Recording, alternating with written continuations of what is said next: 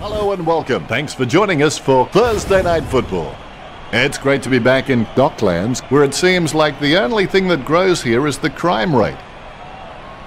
Players won't be able to rely on the crowd for support. There's just not that many of them. Accompanying me is Matthew Richardson.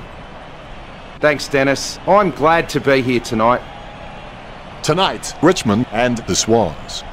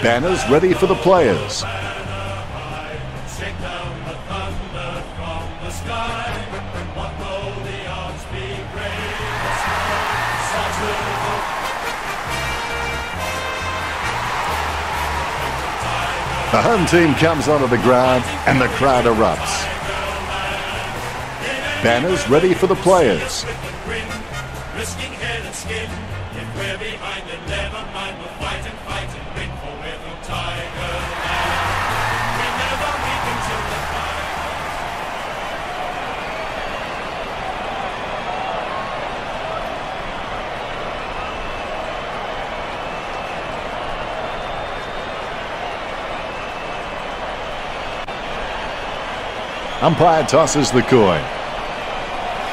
Well, they say patience is a virtue, but if we wait any longer for the siren to kick things off, I'm sure this crowd will get a little unruly and maybe take matters into their own hands. We're underway. Naismith with the punch. Takes control of the bouncing ball. Rioli takes an uncontested mark. Puts the kick on the wing. Marked by Caddy. Takes his time as he lines up for goal. It's okay to have butterflies. Just get them in flying formation. Caddy slams one on the boot for goal. That ball's travelling. Sends it home with a mighty kick. Richmond get a goal on the board first. The umpire set to bounce to restart the game. The bounce laser straight. Nankervis with a big fist on it. Caddy with the football. Kicks. Aliir has it. Puts boot to ball. Strong mark. Rampe has been a solid contributor for this team. His coach will know what to expect from him week to week, which really helps when structuring the team. Rioli just flattened him. Lambert with the spoil. Rohan has given away a free kick. Nankervis slams the ball to his boot. He takes the contested mark. Miles feeds it wide. Lloyd gets the upper hand. A risky proposition from here. He'll need a big kick to make the goals. He's kicking on about a 30 degree angle, which could prove challenging. The Tigers by seven points.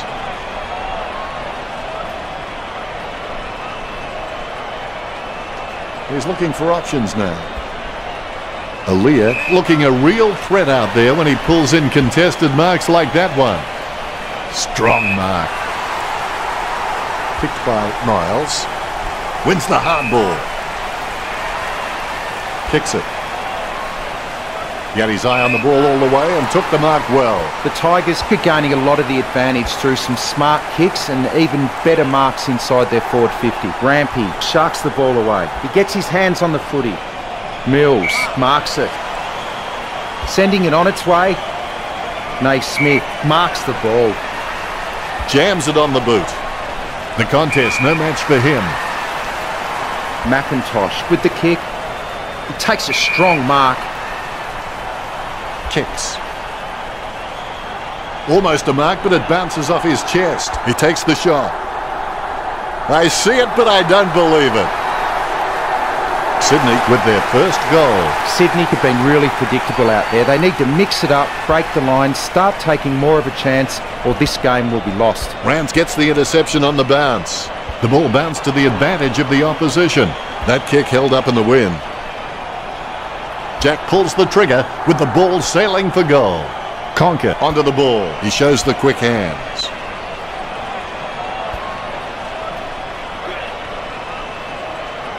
Lloyd sockers it. That play is as high-tech as it can for. Tackle, but gets the handball off. What did you make of the first term, Richo? They're in front and they deserve to be in front. They stepped up in all areas and really made their opposition look second rate.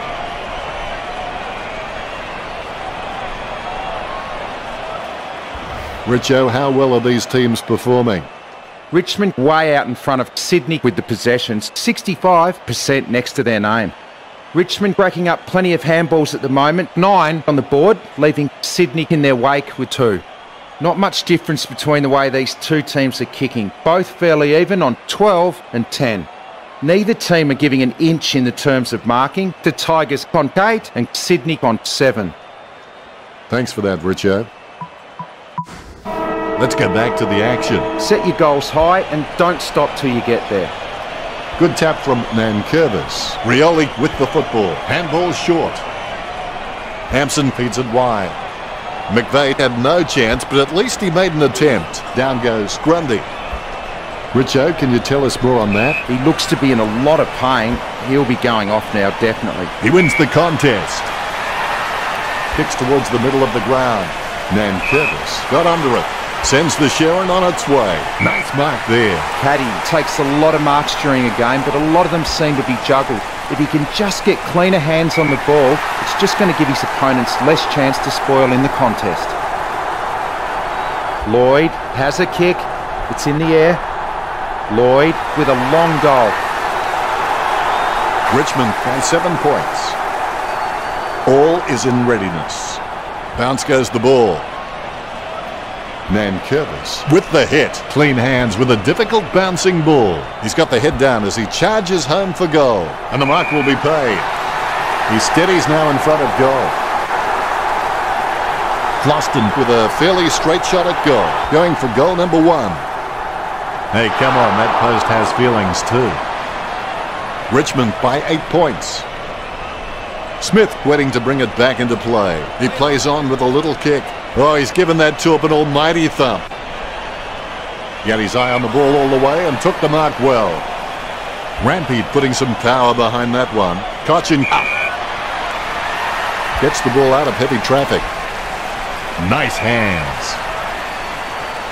The wind helping that kick. Drops the ball. The ball finds its way into the grateful clutches of the opposition.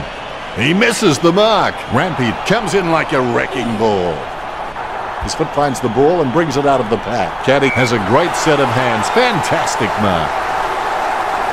45 metres out. Bumps the pigskin. Vlastuin claims it. He steadies now in front of goal. 40 metres out. Vlastuin tries his luck with a shot at goal. Lloyd. Out of bounds it goes.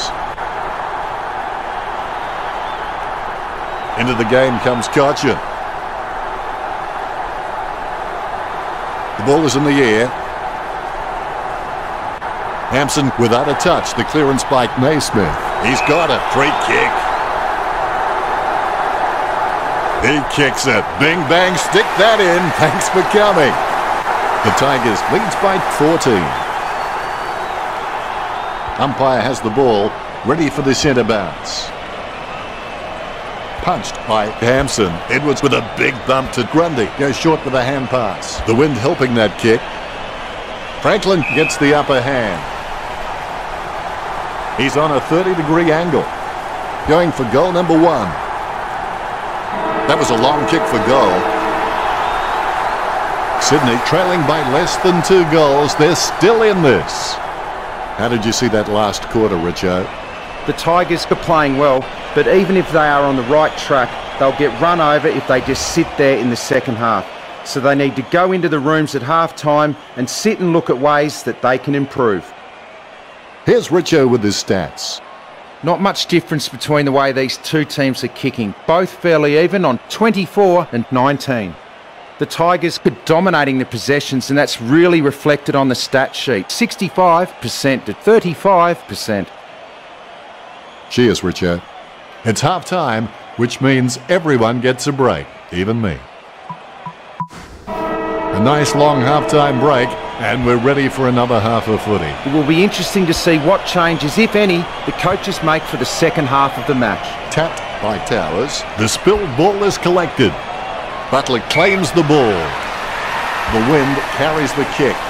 Aliir claims it. Aliir has got a few tricks up his sleeve, so defenders will have to be on their game. Rampe boots it. Naismith with the ball. Nice bit of power then. Papley with real good use of the body. He kicks the ball.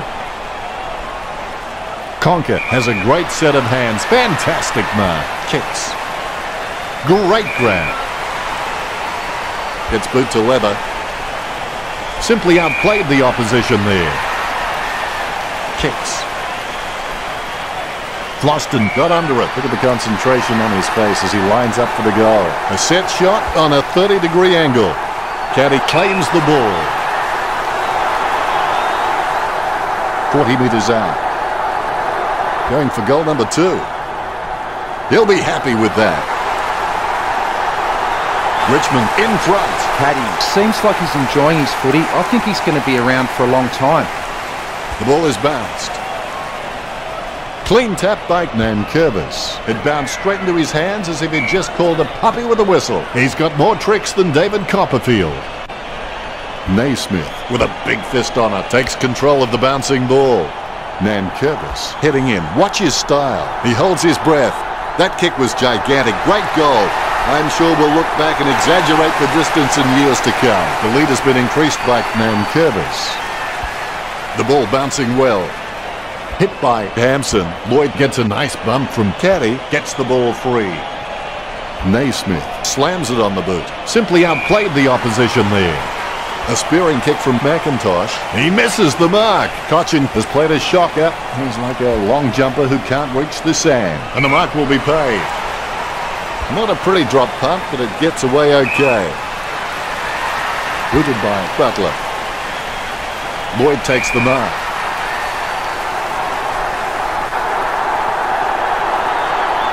Lloyd aiming for the goals. All eyes are watching. I don't know if you can see it from back there, but it's a goal. He's giving it all he's got this match. That's number three. Lloyd puts them further in front. The umpire set to bounce to restart the game. Franklin punches it. Rance is able to grab it on the half volley. Handballs. Martin mistimes the handball. Sockers the ball away.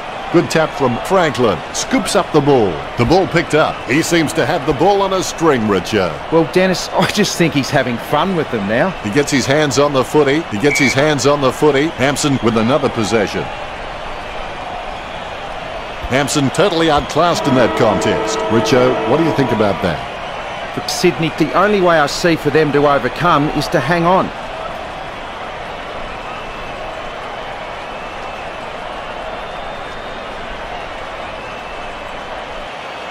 Let's check out the stats. Neither team showing any superiority in the tackling count today. Really close, locked horns in the tackle contests. 11 to 8. Uh, that's a unique spin on things, Richo. The players are starting to feel the strain of the first three quarters now. You can't just beat a team, you have to leave a lasting impression in their minds so that they never want to see you again. Nicely intercepted by Canterbury. Marsh with the ball. Nice hands. Jams it on the boot. Nice contested mark by Papley. Kicks it. And the mark will be paid. That came off the boot with huge power. Out of bounds near the 50. The umpire will throw it in. The ball has been thrown in. One down by Nankervis. Puts the kick on the win. Franklin decisively. He kicks quickly. Hayward gets the tap. Able to grab it on the half volley. Gets the ball out of heavy traffic. Mills wins the marking contest. The Swans haven't taken many marks inside their 50. They need to be more aggressive and create some room or they'll find themselves far too behind on the scoreboard. Hampson handballs to space. He's blocked it. He'll get a free kick. Slams it on the boot. Brigg marks. Kicks into the wind. Oh, you can really tell he loves taking a contested mark. Sends it on its way. Caddy has a great set of hands. Fantastic mark.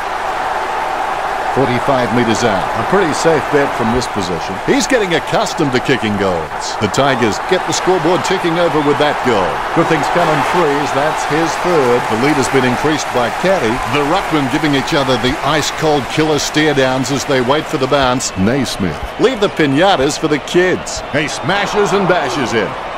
A favourable bounce. Caddy feeds the hand pass out. Approaching the goals now.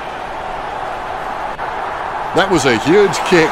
Malcolm Blight would be happy with that one. The pressure continues to mount with that goal from Caddy. The Tigers are just really comfortable kicking for goal on the run because it's just an extension of their normal field kicking and they have absolutely no issues there. I've got no idea how he managed to get that out. Caddy taps it. Caddy throws it, clear as day. Puts boot to ball. Jack claims the ball. Picture perfect drop punt. Hewett has a great set of hands. Fantastic mark. Jams it on the boot now. And the mark will be paid. When you look at the set shots at goal, there just aren't enough scoring opportunities being created. Get the ball inside 50 and give your forwards a chance to mark. But the Swans forwards are dangerous anywhere inside 50. They just need to be given a shot. Sends it home with a huge kick. Reid slots through a much needed goal. The Ruckman, conscious of where their teammates are, they wait for the bounce. Guided by Hampson. He gets his hands on the footy. Lovely hand pass hits the man. Caddy heads in for the goals. Vlastuin with the mighty fist. Listen, here's the thing. This game was over before it began, and I don't think there's anything further I can add that will shed light on this outcome. Very one-sided. Richo, did you enjoy the matchup between Richmond and the Swans? The difference between a successful team and others is not a lack of strength, not a lack of knowledge, often a lack of will. Thanks for that, Richo.